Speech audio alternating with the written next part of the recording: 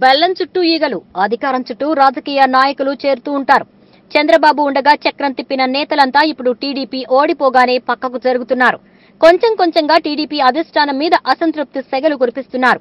వైసీపీలో చేరితే అధికారం అండతో ఈ ఐదేళ్ళు డోకా ఉండదని టీడీపీ నేతలంతా అటే దారిపడుతున్నారు తాజాగా నెల్లూరుకు చెందిన మాజీ మంత్రి చంద్రబాబు అనుంగ అనుచరుడు నారాయణ కూడా తన ప్రధాన బిజినెస్ అయిన విద్యా వ్యాపారాన్ని కాపాడుకోవడానికి వైసీపీ బాట పట్టేందుకు రెడీ అవుతున్నట్ట.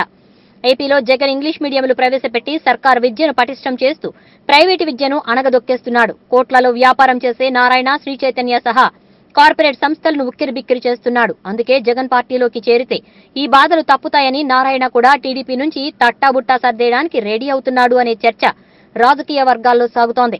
ఇప్పటికే తన నియోజకవర్గంలోని తన ప్రధాన అనుచరులను వైసీపీలో చేరాలని నారాయణ ఒత్తిడి చేస్తున్నారని నేతలు చెవులు కోరుకుంటున్నారు తన విద్యా సంస్థలు కాపాడుకోవడానికైనా నారాయణ వైసీపీలోకి జంప్ చేస్తాడేమోనని పలువురు భావిస్తున్నారట.